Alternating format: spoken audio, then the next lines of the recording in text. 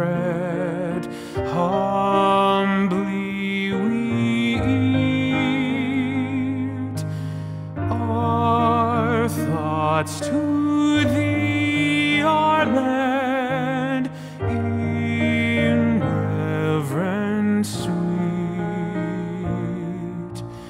Bruised, broken.